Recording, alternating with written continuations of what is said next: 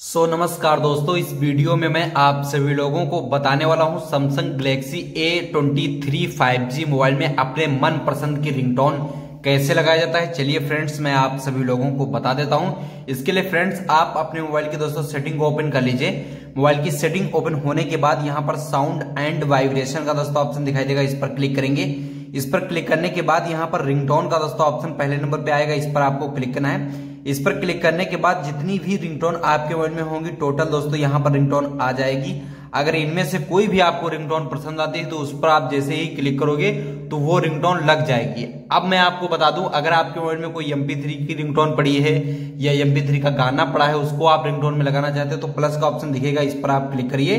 उसके बाद दोस्तों, जितने भी एमपी थ्री के गाने आपके मोबाइल में होंगे, यहाँ पर आ जाएँगे।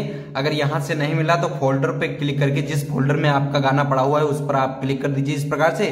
उसके बाद यहाँ पर डन का ऑप्शन दिखाई देगा। डन के ऑप्शन पर आप क्लिक कर दीजिए। बस यही रिंगटोन आपके मोबाइल में सक्सेसफुली लग जाएगी। तो इस प्रकार से आप अपने मोबाइल में मनपसंद की रिंगटोन लगा सकते हो।